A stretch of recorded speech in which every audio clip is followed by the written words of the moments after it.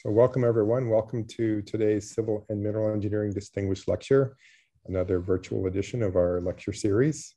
I'm really pleased that our distinguished speaker today is Professor Michael Wegener. Professor Wegener is a partner at Spiekermann and Wegener Urban and Regional Research in Dortmund, Germany.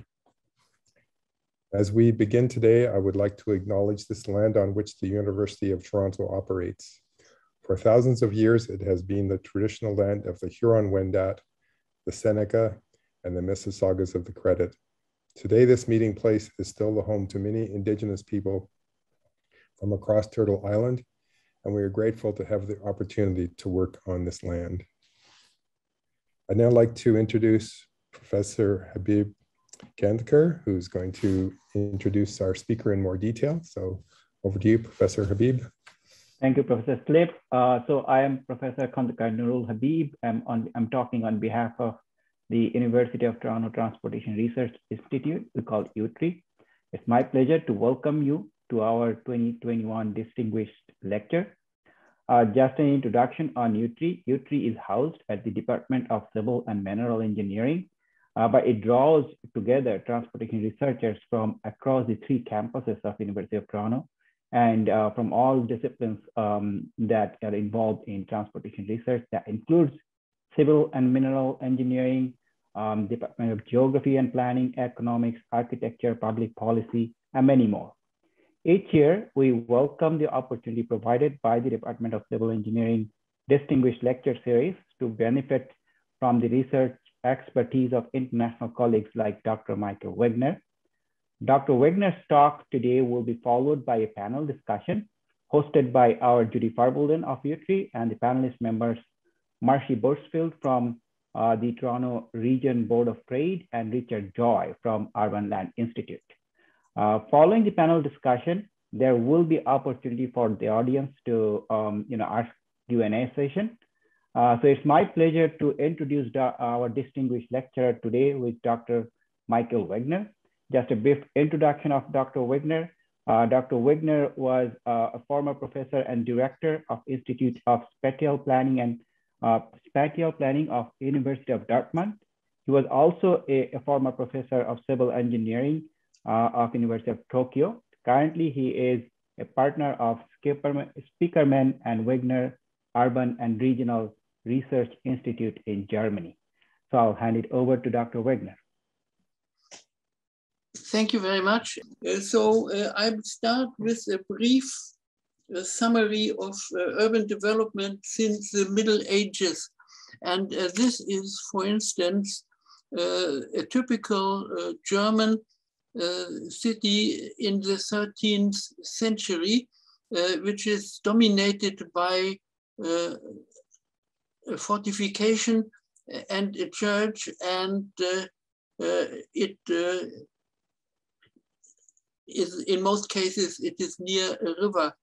Uh, and uh, you can see how over the years this is in this uh, 50, 14th century, uh, this is in the 16th century, and that is uh, how the city changed uh, its appearance over time in the 16th century. Yeah.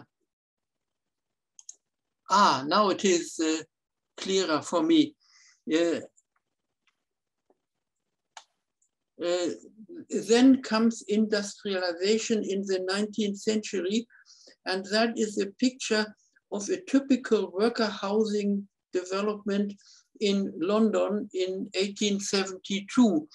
Uh, and of course, uh, this was uh, not uh, the ideal development of urban planning, and therefore uh, there was a development of uh, artificial new urban development, such as the Garden City about the year 1900 and Letchworth near Cambridge as one of example of uh, implementation of that. And that is the American version of the Garden City, uh, Broadacre City by Frank Lloyd Wright. Yeah.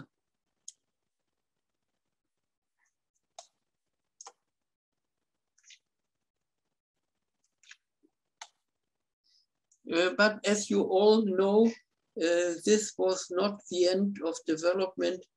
Uh, rather, uh, the uh, new technology, in this case, uh, the private motor car, yeah, evade, invaded cities. And this is a situation of uh, Boston in the 1960s. And uh, uh, this is the result of that kind of urban development. And that is the development which came out of that. so that is the prototype of the city of the 20th century. And uh, this is what people had to stay every morning uh, and uh, this is, for instance, uh, a snapshot of Seoul in Korea or of Shenzhen in China. This, of course, is developed, is accompanied by strict development trends. And here you can see a development of uh, population and uh, the transport infrastructure at the bottom, but the red, red line is uh, what is really occurring to the built-up area in terms of area and GDP. And of course, the strongest growth occurs with the number of cars. Yeah, and uh, this is again uh, at the bottom, you can see uh, population uh, in the middle, GDP per, in total, and the number of cars, the strongest development in Germany. and this is following simply the US American trends in terms of trips per day, travel time per day, trip lengths and travel distances per day. And uh, this is, uh, would like to continue uh, if uh, today uh, we do not anything uh, which really goes against that. This is the famous article by Hansen in 1956, How Accessibility Shapes Land Use.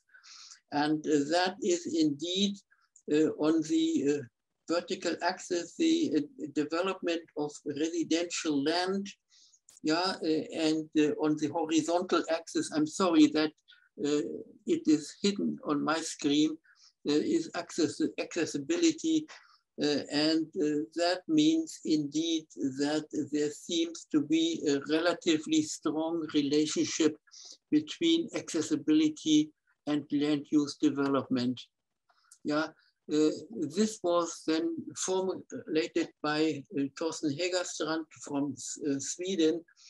he determined the name of action spaces or the set of spatial opportunities available to an individual and uh, which is limited by constraints of the action space, namely capacity restraints, aspatial personal constraints to mobility such as monetary or time budgets, coupling restraints on the linking of activities or institutional constraints such as restrictions of access due to opening hours or entrance fees. And uh, uh, irrespective of what we observe today, uh, these constraints are more or less still active. Yeah, uh, if you um, translate that down uh, to a person personal family, uh, then you get a picture where the different activities can be represented by vertical lines, which are different from the central of the home and uh, uh, such as large or small corner shops uh, or schools or kindergarten or distances, which really yeah, uh, limit and expand the space a family has to work with. Yeah, uh, this was uh, unified by uh, Zahavi in 1981 uh, based on travel data of more than 100 urban regions. He proposed the following hypotheses. Households consider in their daily travel decisions monetary and time budgets. And monetary and time budgets available for transport change only very slowly.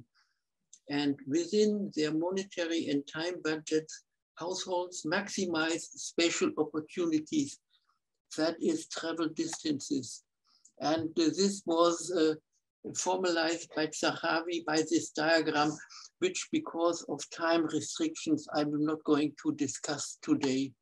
Yeah, uh, but uh, what does it, this theory imply? if travel becomes faster or less expensive, people will make more and longer trips. If travel becomes faster or less expensive, people will choose more distant locations. If people will get more affluent, they will make more and longer trips and choose more distant locations. If people have to work less hours per day, they will make more and longer trips and choose more distant locations. I think you feel already the repetitions in what we're saying. If all this happens together, people will make more and longer trips and choose more distant locations. And that is irrespective of technical differences will more or less change valid also in 50 years from now. Yeah, uh, this is how I tried to formalize the land use transport feedback cycle. Yeah, uh, down here, the, the word is, I'm sorry, I can't get this away. Yeah, the construction uh, and that of determines, of course, the location decision of users that leads to modes and moves and activities, uh, different car ownerships, trip decision, destination choice, mode choice, route choice. This is the whole travel, tra uh, uh, traditional travel uh, model. And this can be summarized in the term, as we did already, accessibility, which is one element of attractiveness and determines the location decisions of in, investors. And you see, uh, I am full circle once.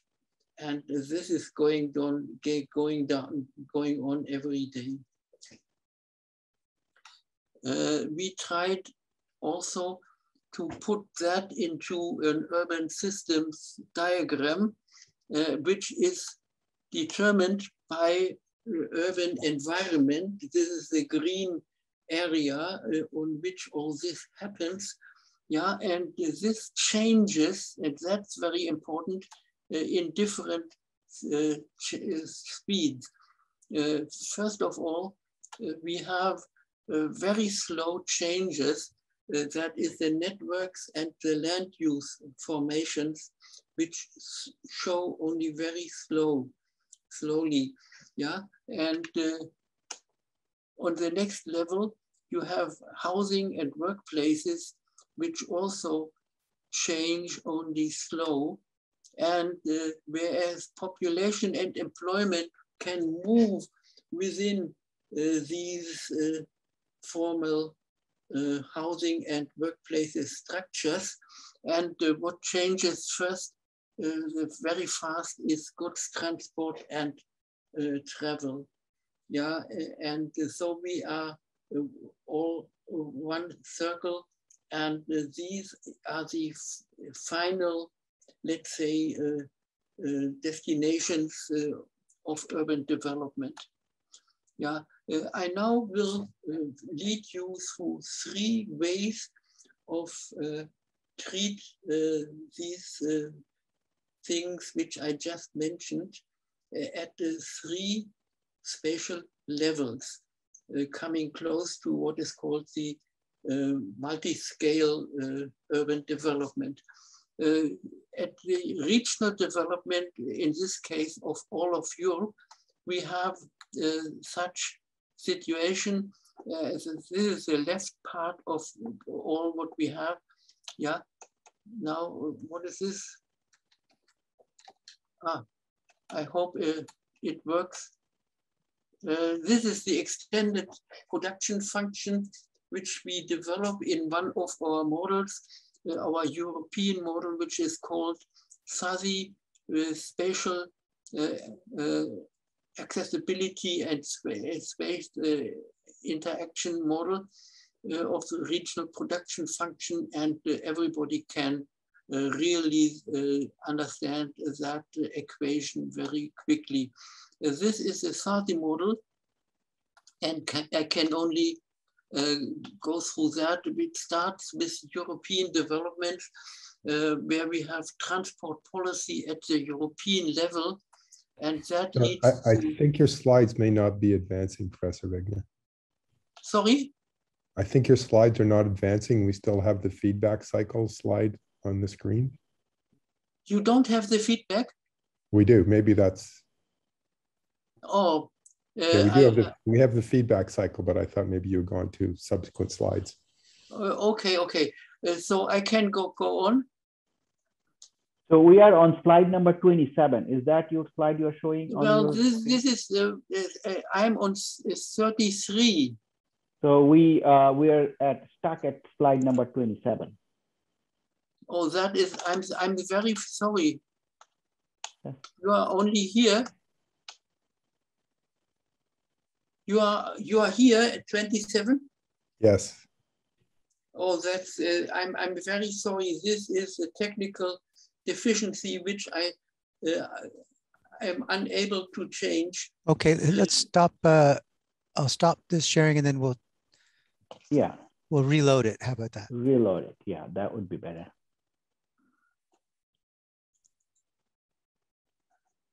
Mm -hmm. Yeah, and then full screen enabled. Yes. 27, perfect. Okay.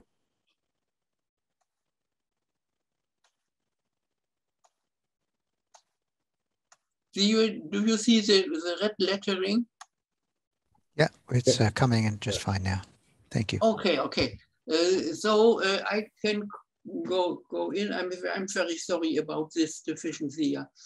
Uh, about uh, the uh, regional development of Europe.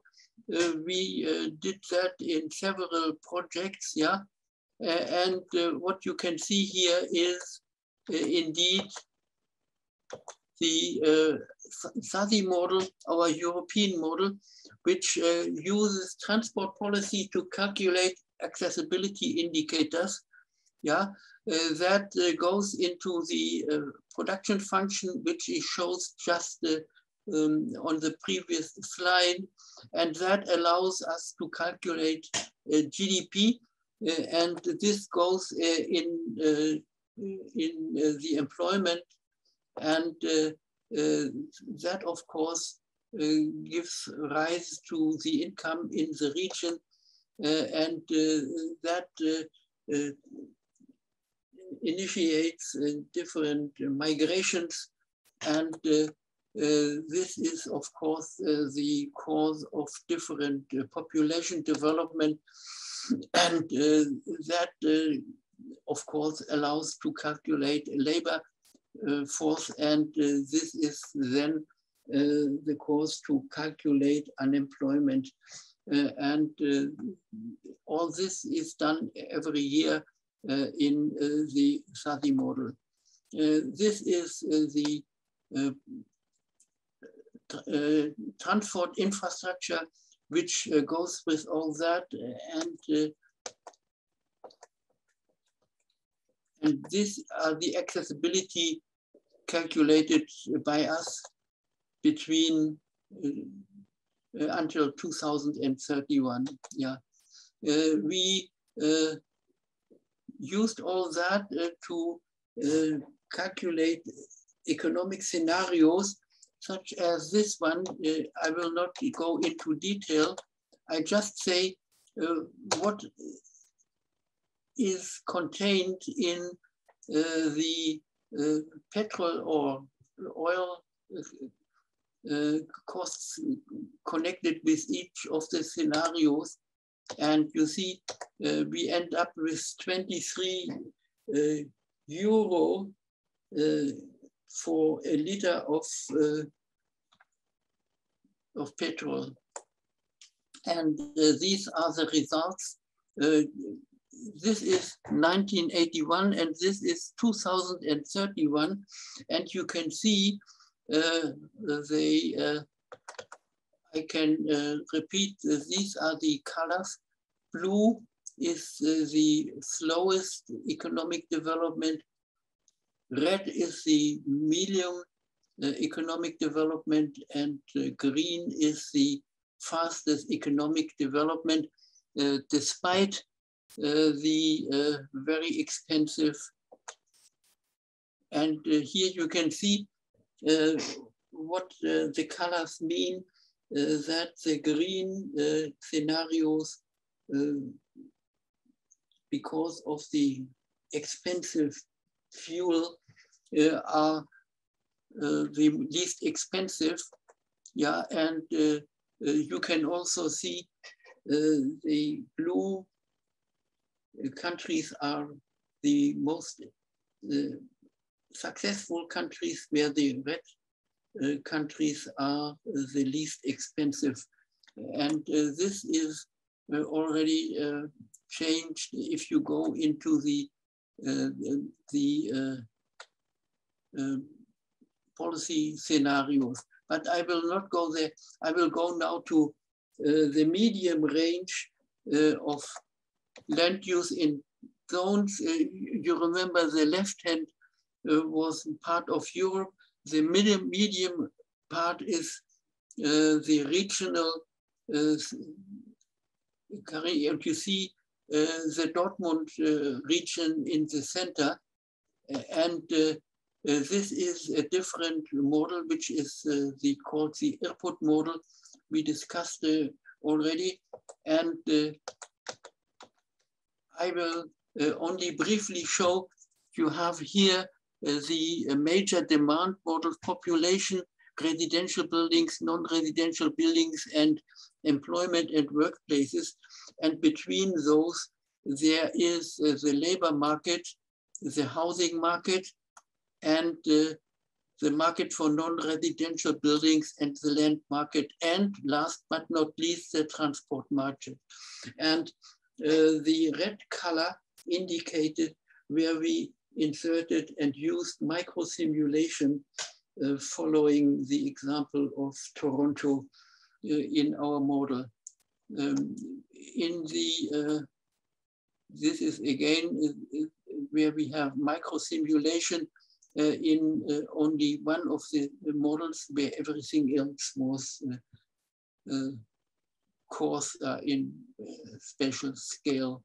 Yeah, um, just uh, to show it a little bit that we decide the uncertainty of microsimulation, uh, we are able to validate our results, uh, which show uh, here the black line and which is the data and uh, the gray line is uh, the model and the left hand side shows work trips and the right hand shows kilometers traveled.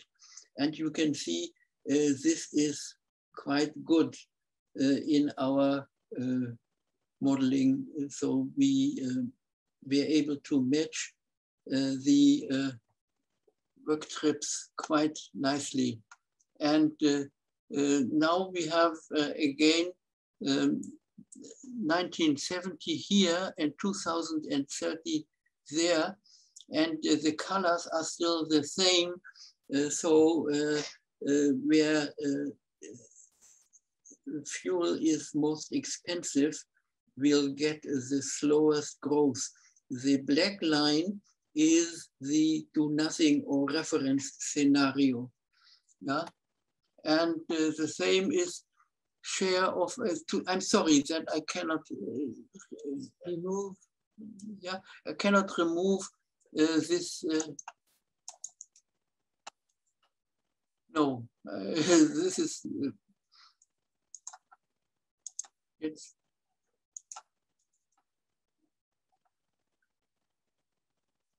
Mm.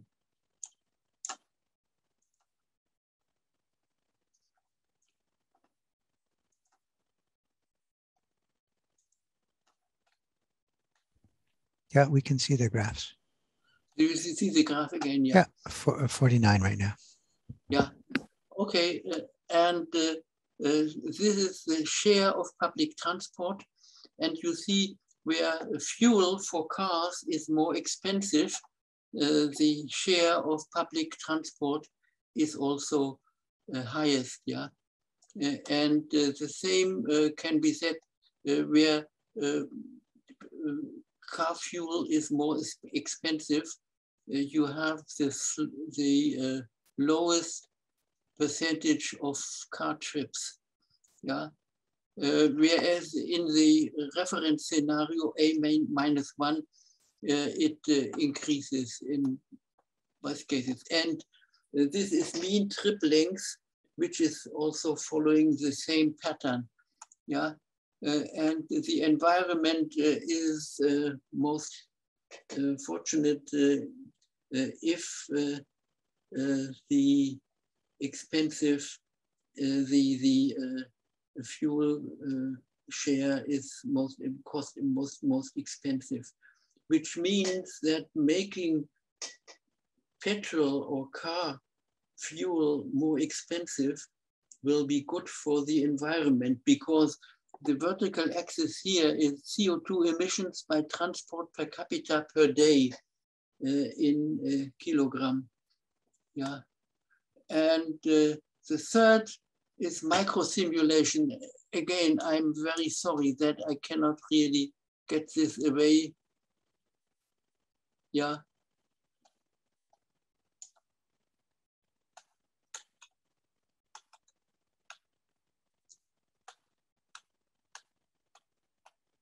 I showed that already, yeah? Okay. And now the last one is the micro simulation model, which works uh, on the raster level. Uh, raster is uh, 100 by 100 meter. And uh, uh, this is the spatial disaggregation to uh, calculate synthetic microdatabase uh, from regional or zonal polygons. Uh, so the polygons of a land use map are converted to raster cells and each raster cell is assigned a land use category. I'm not going to uh, calculate that or discuss that in detail. Um, this is something everybody who deals with micro simulation has to solve. And this is the result. Uh, these are the 100 by 100 meter raster cells, uh, which uh, really are spread over the whole Ruhr area, um, the model would be able to calculate 600,000 such raster cells, uh, but in our application, we used only 209,000 raster cells. And uh, uh, these are the roads and the travel uh, lines across that. And that is the result of one scenario. Uh, we see here the locations of households, uh, the uh, travel time, travel flows, and the traffic noise, no, noise. And this is the uh, moves uh, where households move uh, from one location in the area to the other. Yeah.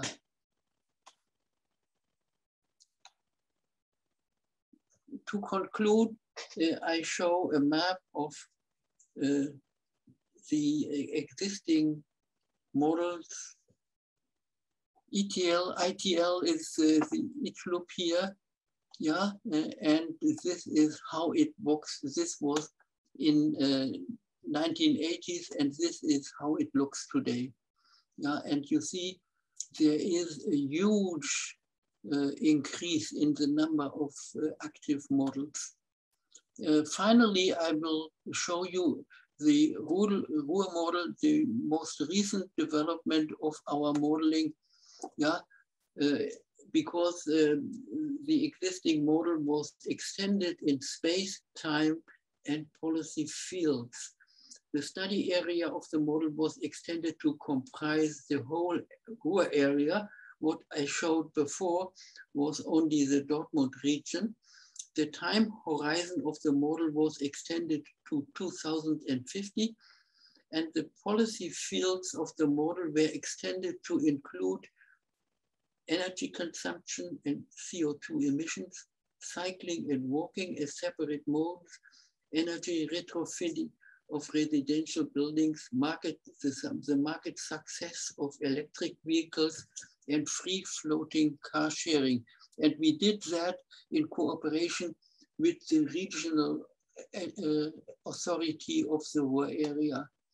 Uh, it may be interesting for you uh, the compute time for 24 minutes per year, yeah, uh, in the years 1990 to 2050.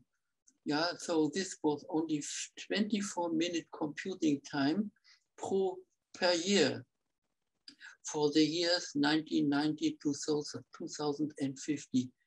That uh, for people who are working with micro simulation, yeah, they will uh, admit that this is quite uh, short to handle. The extended model was applied to answer the following questions. How will settlement structure, oh, I have 40 minutes. Can I have one more minute? Yeah? No. you still have so quite a bit of time. Sure. Yes. Lots can I can I have uh, can I have one more minute? Yes. Okay, good. Uh, so that is a polycentric Ruhr area. This is the region. These are the uh, 687 internal zones, and these are the 134 external zones which we uh, consider. And the scenarios uh, which we looked at considered of the base scenario, land use, housing, energy efficiency, car traffic, public transport, cycling, and walking. And in addition, six combinations of policies which were examined as integrated strategies. These are the 81 to 86 strategies. Yeah, all 20 scenarios were combined with two different assumptions uh, Uh, and I'm really skipped that uh, because of the lack of time. You have uh, Michael, you, you have lots of time. You have, you have 15 minutes or so, I believe. Uh, no, no, no. The uh, the the, the time was. you have so much time. You have a lot of time. You can you can explain not, fully. oh yes, I I I started was, late. I, I misinterpreted. Yes, the the the watch. So all 20 scenarios were combined with two different assumptions about the development of fuel prices. In the A scenarios, it was assumed that fuel prices will grow by 1% annually. In the B scenarios, it was assumed that fuel prices will grow by 4% annually. And the base scenarios are the basis for the comparison between the scenarios. Here is the base scenario, and you see uh, the zonal system which I showed earlier, and uh, the dark lines uh, is the population density, and these are indeed everybody who knows the region knows uh, are the central city areas. Uh, the accessibility of workplaces is of course closely related to that. And this is the share of uh, car trips, uh, which uh, clearly shows the highest levels of car trips in the peripheral regions uh, or districts of the region. Yeah, and this is the trips by mode between internal zones. And uh, these are the CO2 emissions uh, of, uh, uh, of the country. And you can see where there is more car trips, there are higher emissions. Yeah. and this is the diagram shows the two, the base scenario here and the uh, red scenario with higher uh, fuel costs uh, in red, yeah. And uh, uh, this is energy retrofitted residential buildings. And you, you can clearly see also that in the central areas here, the blue line, blue colors, the uh, energy retrofitting is uh, not very popular, whereas in the peripheral regions it was very popular. and this is sharing, car sharing centers, which are uh, of course, also more in demand uh, in the city, centers.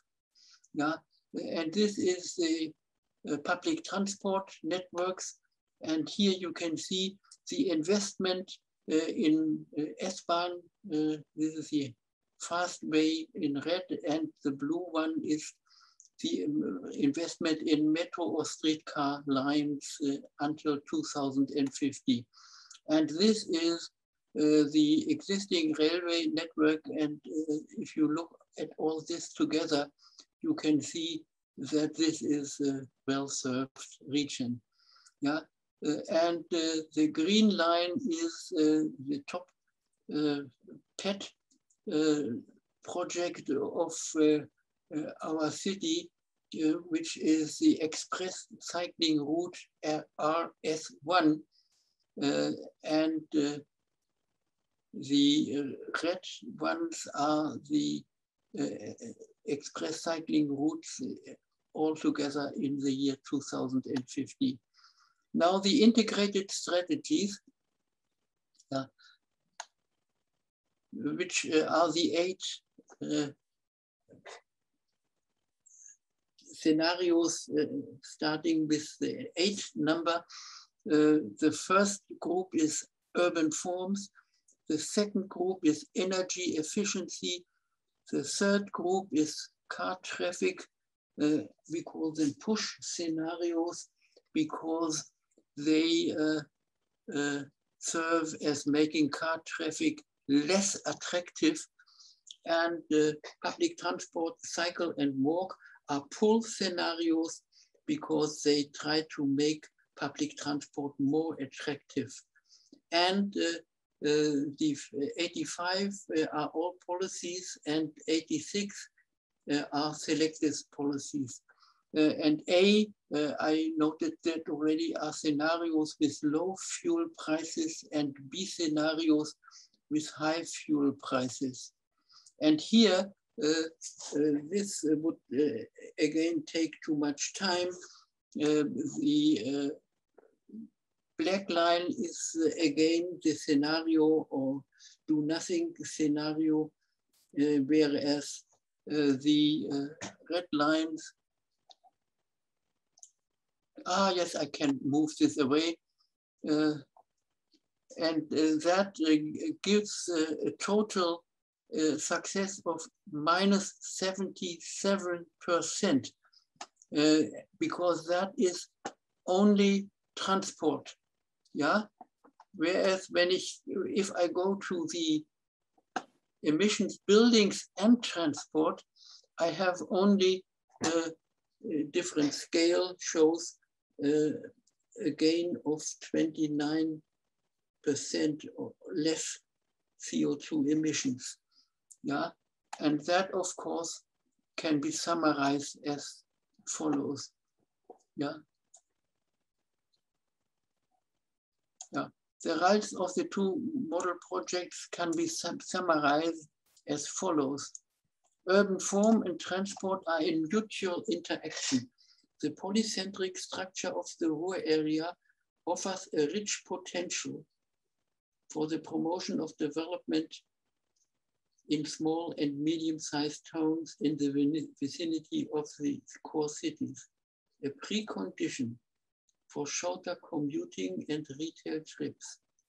But policies to develop urban form need a long time to become effective. Further, transport policies for the implementation of the energy transition in transport can be either pull or push policies. Yeah, I don't repeat the definition. In general, push policies are more effective than pull policies. The most successful strategies are integrated strategies in which urban form policies and transport policies are combined. Recommendations. From the results of the two research projects, clear policy recommendations for the municipalities and the state and federal governments can be derived. A comprehensive land use plan was would be important uh, for energy efficiency and should be therefore reported. Uh, to achieve the energy transition in transport, fast and consequent action by the municipalities, the public transport agencies, the regional government and the state government are required. Integrated strategies for the implementation of the energy transition in the Ruhr area, integrated strategies are required which address urban form, transport infrastructure, and fiscal policies together. Yeah, Many of the necessary policies, in particular the push policies, are likely to be perceived by many people as restrictions of their mobility and quality of life. It is therefore necessary to communicate inconvenient truths with rational arguments and make it clear that the recommended, recommended policies can bring significant advantages such as improved environmental quality and a revival of neighborhood relationships. Yeah. This is our further work.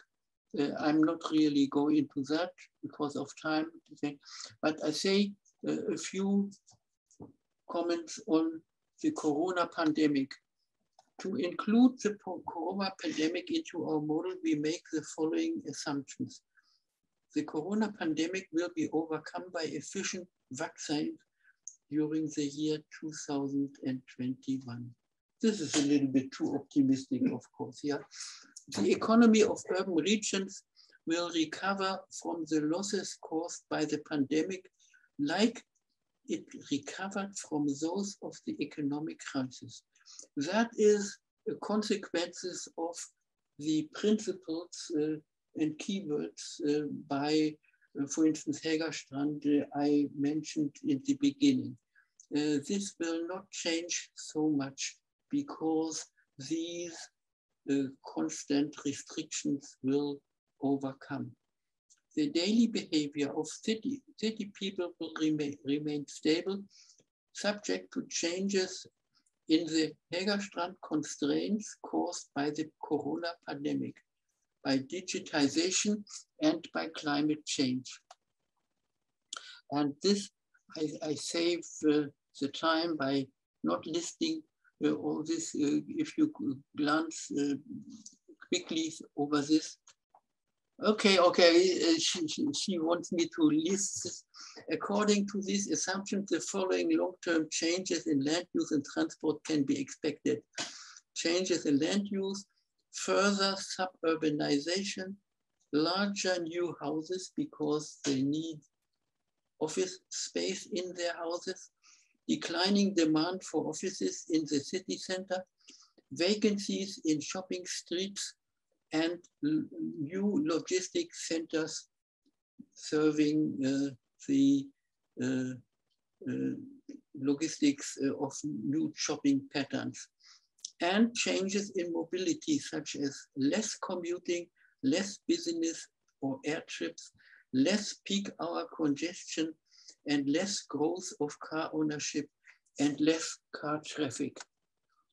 And the three major transformations lying ahead are the corona pandemic, further digitization, and ongoing climate change. And they may, may require a review of the theoretical foundations used to understand urban development. Uh, in particular, uh, the dominant paradigm of growth-oriented behavior of private individual and firms may be gradually replaced by more environmental behavior. And that leads to the question whether modeling a greater diversity of behavior of individual and firms would be more appropriate for long-term modes. Today, our models still follow the what is called the growth path. Yeah, uh, but uh, and this is now my most important slide. The three major three major transitions lying ahead: the Corona pandemic, further digitization, and ongoing climate change may require also a review of the ethical standards of urban planning and development. It is more and more likely that a continuation of the growth orientation of the actors in our models could result in the destruction of the life on our planet. This leads to the question whether a greater diversity of criteria, goals, for the evaluation of planning policies would be more appropriate for our model if they are long term. The next is uh, only uh, what is necessary, the references, uh, and uh, I'm happy to conclude my presentation. And uh, if I really follow this uh, little Perfect. clock, Perfect. um, I am below 40 minutes. Uh, and that is what they asked me to do. Okay. And, and, and somebody beat me to it already by saying perfect. Uh, I'm not too. I'm not too long. Thank you very much. No, cer- no, certainly is not, certainly not, certainly not. Michael, thank you so very much. Um, and, and thank you, everybody uh, in our audience for joining us. I'm Judy Farvolden. I'm the Executive Director of the University of Toronto Transportation Research Institute.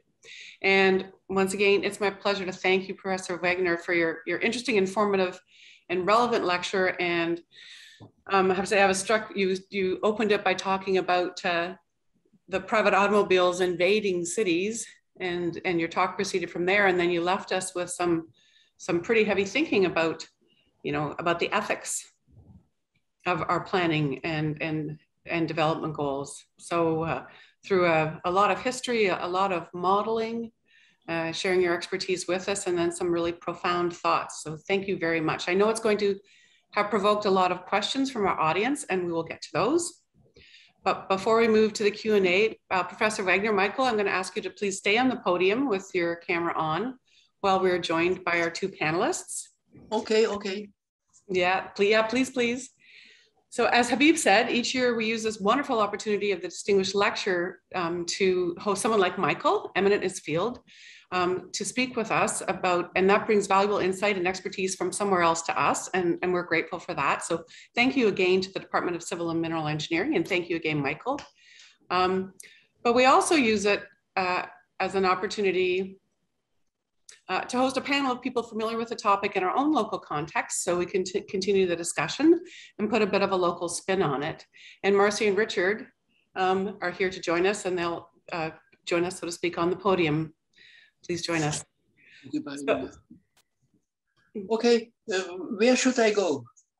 just just stay where you are. Hopefully our host is going to hopefully our host is going to manage manage these cameras and, and bring Marcy, Richard, okay, okay, yes together onto uh, our virtual podium. We'll find each other. We'll be here anyway, and we'll manage. We'll manage somehow. We always do. So uh, Marcy Burchfield is the Vice President of the Economic Blueprint Institute, a strategic initiative of the Toronto Region Board of Trade. The Economic Blueprint Institute applies a data-driven approach in solving for regional problems to influence policy. Many of you will know Marcy from her days leading the Neptis Foundation, which was at the forefront of regional planning that significantly influenced provincial policy in uh, the provincial policy in land use, transportation, and economic development. Our second panelist, Richard Joy, is the Executive Director of the Urban Land Institute in Toronto. Richard has grown ULI Toronto into the largest chapter in the global network of ULI. It's ULI's mission to shape the future of the built environment for transformative impact in communities worldwide. And Richard and ULI Toronto busy doing that in our region. Many of you will know Richard from his days at the Toronto Region Board of Trade or his decade of service at Toronto City Hall and Queen's Park.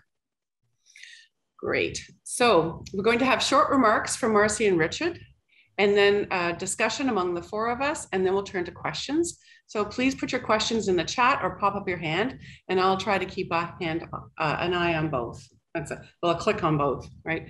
So Marcy, would you like to start us off? Sure, sure, Judy. Thank you. Uh, so first, I want to say thank you to Dr. Wegener. Um, very interesting presentation, and also thank you for your contributions to urban systems modeling. I think we're all. I think there's so many people on this call, partly because of your contributions and and uh, the sophistication in which you're looking at um, the growth of cities.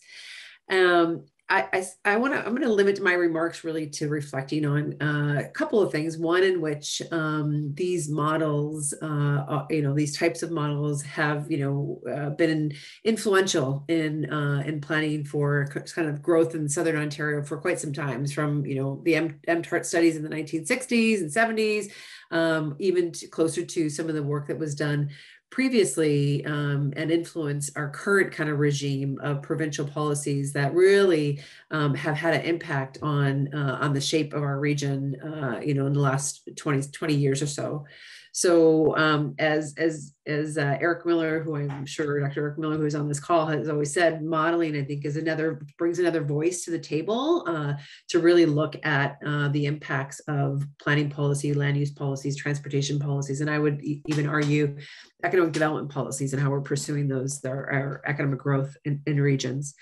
Um, you know, as Judy said, uh, my time at the Neptis Foundation, um, we were very fortunate uh, to to uh, support work um, uh, across a number of, of different venues, um, from uh, work that the, the IBI group did um, on our business as usual and scenario modeling uh, to look at what is the impact of our, our sort of growth model you know this was sort of early early 2000s and i saw in, in Dr. Wegener's slides, you know, just as the the intensity of growth in areas where transport infrastructure was not really being built, and so I would I would call that kind of the outward the outward growing model, uh, as opposed to uh, you know sort of an infill uh, an, an intensification kind of uh, model, and that obviously was happening in North American cities, you know, in the post uh, in, in, the post World War II, uh, and the dominant form of growth, um, and in the early 2000s late 1990s, early 2000s, you know, the sort of smart growth uh, paradigm came into play.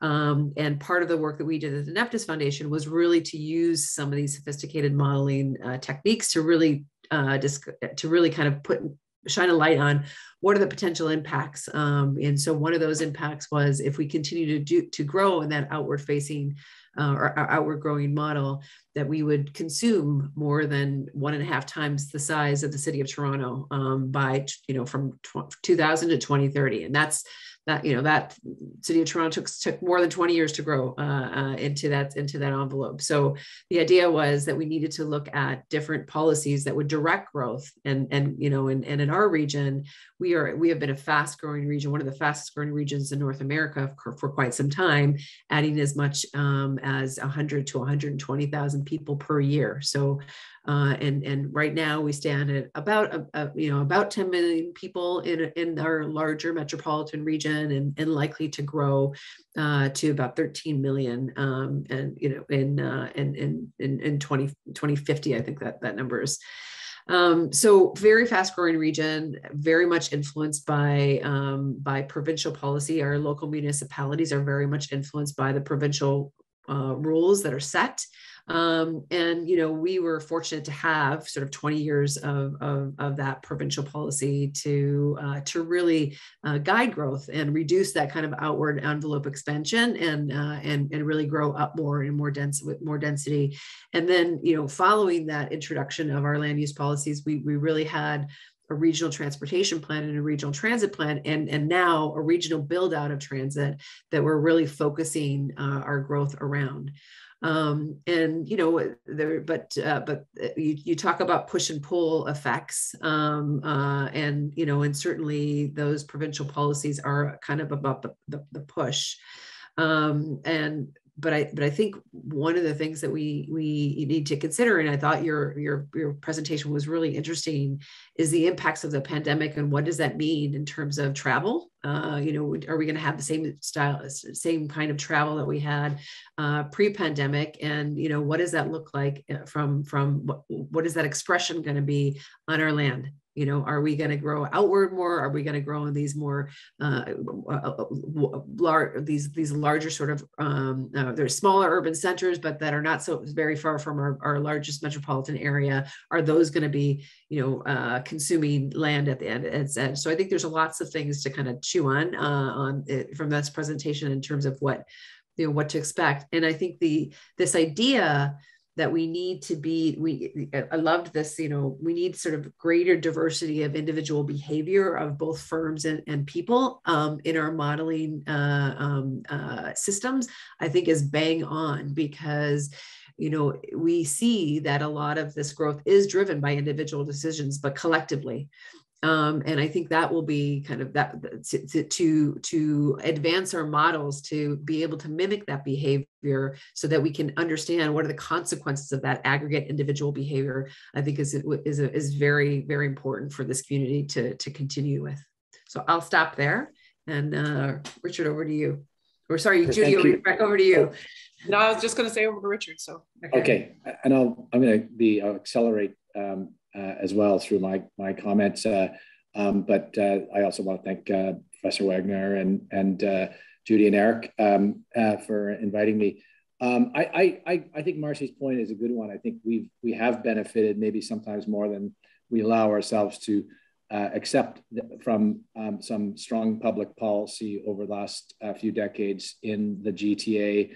Um, in addition to some of the things that, that Marcy's uh, pointed out, I'd, I'd say we're, we're seeing, um, we did, we, we, we had fun looking at a, a, crane count of, of the region compared to other North American regions. And, and while that was the inner city that the crane count was representing, had we done the 905, we would have seen by far the highest cranes in our um, sort of inner, well, I guess outer suburbs um, in any North American city, which I think is, is, is largely um, connected to transit. And that's another great expression, I think, of what we're seeing um, through some some some you know good public policy fundamentals. That but um, but the problem is, of course, it's confounded by some other factors that we, we aren't able to totally control for. And, and Marcy mentioned the really significant population growth. We are you know on track to have our highest ever in Canada um, increase in immigration this year, which I think we're all very happy about. Um, and most of that is coming to our region uh, at least the lion's share of it, I should say. Um, and we've also got, you know, a, a, a mismatch between um, dwelling units and our population in Canada and within the region. Um, and as a result, um, the highest uh, affordability crunch uh, uh, value of properties are going up more aggressively in our region, I think, than any other G7 urban region, if I'm not mistaken. Um, and and then you know confound you know that as as uh, Professor Wegener made the point, and I think it's a really important one. Um, the the impact of of this Zoom era uh, and COVID era, I should say, but Zoom era is really the way I think of it, and I think many of us think of it because I think that's the impact, the ability to uh, allow a population to now no longer be as as bound to um, the urban core as it had been pre-COVID is, I think, a, a, a something of, of concern. And I'm, I'm just, as I said, I'm going to accelerate and just make the point that while um, I think we've seen the benefit of strong public policy, we're also seeing the troubling signs of an abandonment of public policy.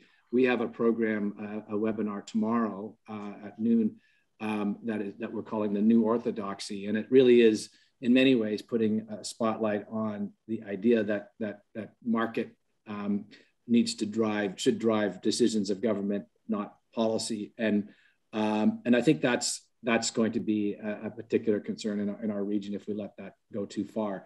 There are, of course, uh, you know, a, a, positive side on public policy is I don't think we debate carbon tax anymore in this country. I think that was put to rest in the last federal election, and and carbon uh, policies perhaps are, are one thing that will favor um, smarter uh, outcomes. But uh, um, so I, I think those are my my, my key points, um, uh, and I'll hand it back now to Judy. Uh, thanks, thanks very much to both of you for, for reminding us that we do have provincial planning and have had it and have had it for many years and have benefited from it. Um, and now we're looking at the next, uh, we're here we are 2020, looking at the next 30 years as our next planning cycle out to 2050 and, and wondering what happens next. Uh, Michael, I wanted to ask you, um, as Marcy and Richard have said, Toronto is growing and poised for more growth. At the end of your talk, you talked about worrying about the imp- implications of growth, I guess, a, growing population and then that population's appetite for consumption. If you were doing your work in, in the Ruhr, uh, facing these growth scenarios, what would your what would your advice be?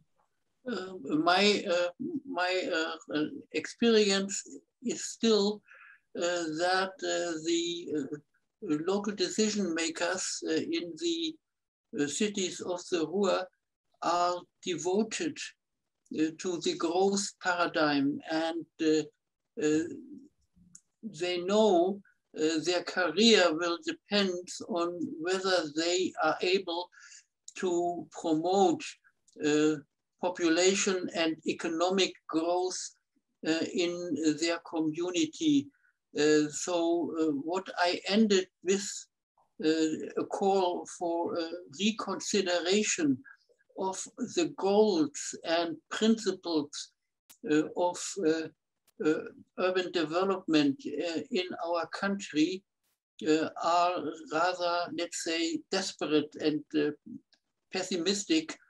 Uh, they because they conclude that whatever modelers or planners promote or uh, bring forth uh, will be forgotten in a minute because it is so contrasting with the uh, in, in contrast with the uh, with the objectives uh, of the mayor and of the decision makers uh, in the particular city.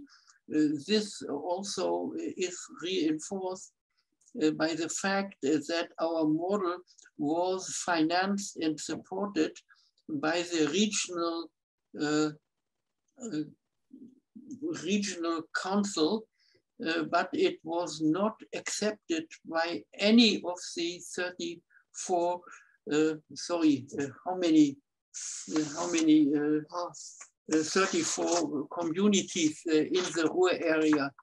and that means that uh, uh, there is a, let's say, so 53 municipalities, I'm sorry, not 34, 53 uh, municipalities. The conclusion uh, one can draw out of that is that the population of the Ruhr area will disappear in certain years and uh, that uh, uh, there is presently no uh, advice how to really fight against uh, the uh, climate change. And uh, I would like to change, uh, to, to finish with a question. Is there a group of cities who really do what they need to do to fight climate change in the United States? Who, who's going I, I, I, I, would argue that, that, some of the most aggressive leadership, New York City's local non, law 97 as an example of uh, climate reduction on new and existing buildings is the highest bar in North America, and it's under the idea of the Green New Deal, which uh, federally hasn't yet completely caught hold. So, uh, uh notwithstanding yesterday, last week's uh, advancements uh, uh, federally, but but um, I think municipalities are on the on the leading edge all across the U.S. Oh, that that's uh, sound sounds nice. Um, in contrast, I would claim that in my country, almost without any exception, local governments are opposed to really radical policies to fight climate change. And the human history is full of histories where uh, populations of a different type have disappeared. And uh, now it is the uh, task of our uh, academics uh, and the, uh, the scientists to carefully find out where this happened. But there is uh, a list, I'm, I'm not an expert on that, but there are populations which have disappeared and more will disappear in the future unless we do something against it. Uh, we're fortunate in our region to, uh, uh, you know, notwithstanding how worried we are about the climate crisis, in, uh, Can Canadians, Canada's east and west coast are getting bombed with weather that's uh, destroyed bridges, highways, created mudslides, and lost cost lives. Um, so, uh, but we, sitting here on the shores of Lake Ontario, live in a, in, a, fairly sta pretty stable region and uh, it's it's forecast that we will continue to live in a favorable place. And the pressures there will be that we live in a favorable place that will attract people to come to it. So we we are going to be facing these pressures um, regardless. And, and i agree with richard uh, it, it's our belief that cities are taking the lead in this as the you know primary producers of um, but also with with the um, levers to do some things to control emissions congratulations for your optimism. Yeah, yeah. Well, we'll see. We'll see. We'll see. The city of Toronto uh, talking now about removing parking minimums in new developments, so that will be possible to build a new condominium without providing the parking that was required in previous by previous bylaws. And yeah, if, I talk about taking take take away my parking, make it harder for me to drive, raise those costs, reduce my accessibility, change my options you can imagine that each of those steps that the city may try to take, uh, there's pushback. Uh, is it sufficient to uh, look at uh, your neighborhood and your parking lot? Uh, shouldn't we all uh, look at the global scale at what happens in all countries of the world? I'm going to bring in Marcy here if she wants to be like so, so I, what I was going to say, I think certainly, um, you know, partly what Richard was was was getting at, I think, uh, on some of the North American cities, that there is this sort of C40 organization where cities are coming together as to understanding and uh, and acting uh, in in their own capacity, to, because in so in in cities in Canada, um, there's kind of limitations as to what they can and cannot do. And it really, it's the federal government and the provincial government that has a lot of the levers, the policy levers, and and not and and the revenues actually to really address some of the the bigger um, issues that uh, that are leading to you know climate change, or that contribute sorry contribute to climate change.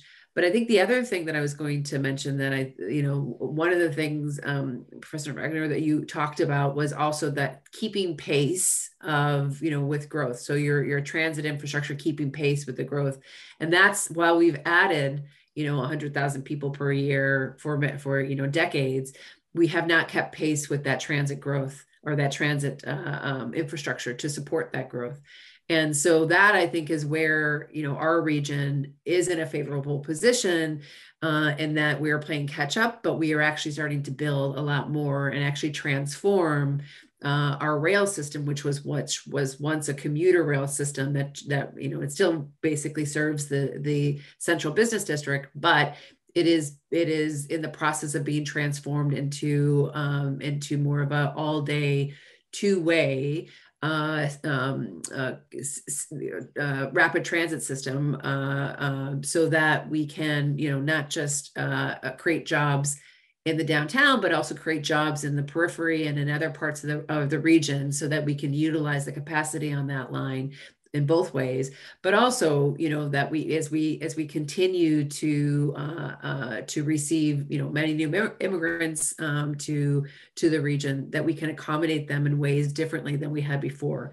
And really around sort of these nodal areas around uh, around some of these this higher order transit. So i think that is you know while as i said the it is the it is the provincial investment it is the federal investment in those in those those those big projects um, it is the municipality's responsibility to build to uh, to really uh, transform the land use planning policies to support growth effectively and efficiently around those uh, that, that infrastructure. I, I, I take this home gratefully uh, because in the last weeks or months, I have changed personally my uh, research interests I was looking for fortunate examples of growth, like you presented them in uh, a minute ago. And I have changed my attitude and I'm now searching for prosperity despite growth and haven't really been successful in finding them yet. But I will continue and uh, I thank you for the encouragement that you say there is growth with prosperity, which is, it's good. Thank you. that's that's that's uh that's that's very nice richard i just want to uh to turn to you now, talking about the industry, the development industry. Marcy was talking about uh, infrastructure catch up, building out our, our, our transportation, uh, transit networks, um, development of our nodes, and you talked about the industry and um, market driven solutions versus policy driven solutions. How, how do you see these coming together as we prepare for growth?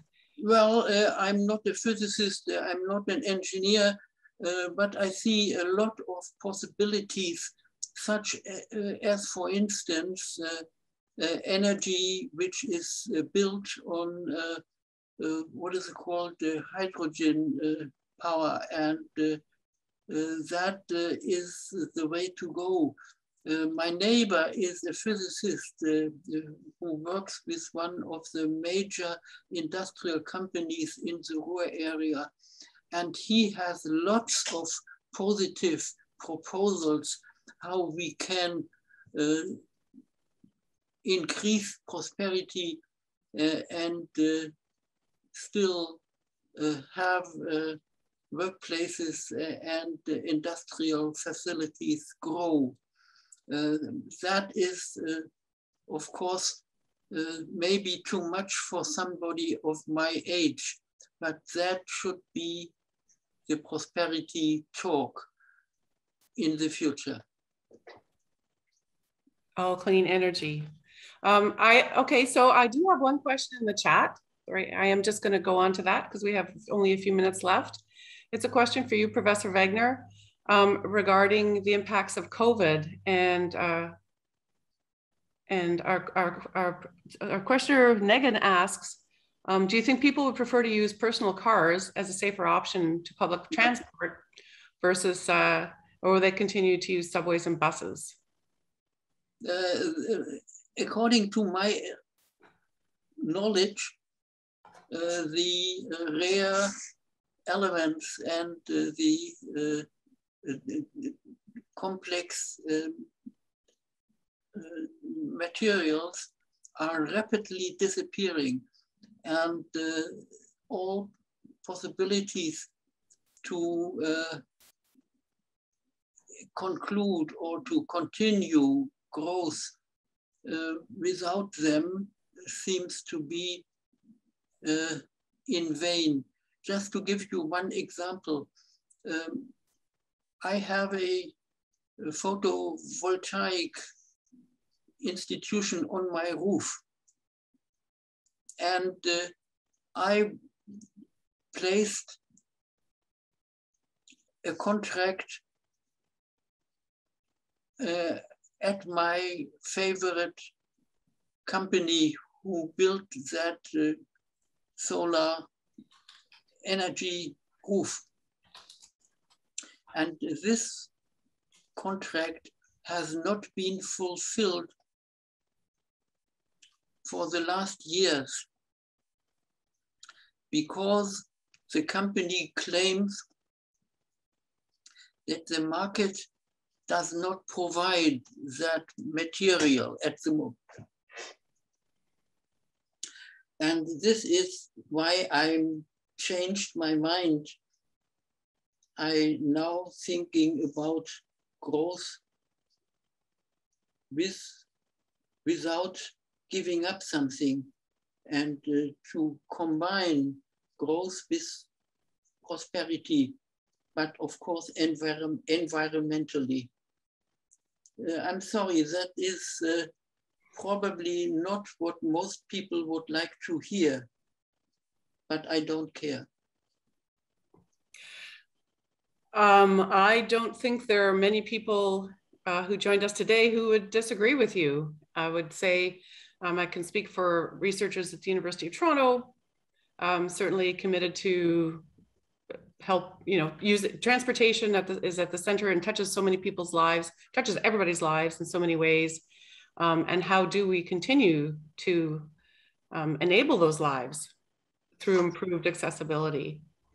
Um, while we're preparing for growth and while we face these additional challenges um, that we caused to, to our climate and certainly have to, to work to fix. And, and we're fortunate uh, University of Toronto, um, you know, in the city of Toronto, great city, great university, um, at the, you know, facing this front on and it's going to be interesting. We're, we're certainly interested in problems around the world, but we do a lot of work in our own region just because we actually just find it so interesting.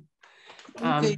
and we, and we, and we get great partners to do it with um, because we have, uh, um, you know, committed committed people at the Board of Trade and ULI and and our other partners around the city and municipality and, and provincial governments who are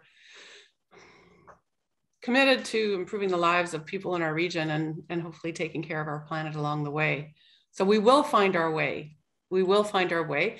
And us, Wegener, I hope we're able to sh sh share with you some stories about how we do prepare for growth and, and, and continue to work on the prosperity of our region. Let's hope we have some good stories there. Okay. Um, uh, as I said, uh, I will take this home gratefully uh, and I will think about it and uh, I will look uh, uh, not only as I have done in the last two years for literature about prosperity under growth, but I will rather look for prosperity without growth. And that may be the most interesting topic. Thank you very much. Thank you, thank you. And, and on behalf of everybody here, uh, thank you very much. Um, thank you for joining us. Thank you to the Civil Engineering Department for creating this opportunity to, for us. Thank you to, to the organizers who pulled together the series and to um, Pat, who helped with our talk in particular. I'd like to invite everybody, you know, to keep up with what's going on by checking out our website or following us on social media. Sign up for our newsletter. If you're signed up for our newsletter, you would have seen several notices about this talk. And, in our, and Pat will be reporting on it next week um, with Professor Wegener's permission, we will be posting uh, his presentation. And we very much look forward to seeing you all again uh, whenever we have the opportunity and encouraging everybody to keep working for prosperity and accessibility in our region. Thank you. Oh, and thank you so much, Michael. Just throw my own thanks in. Thank you, Professor Wegener.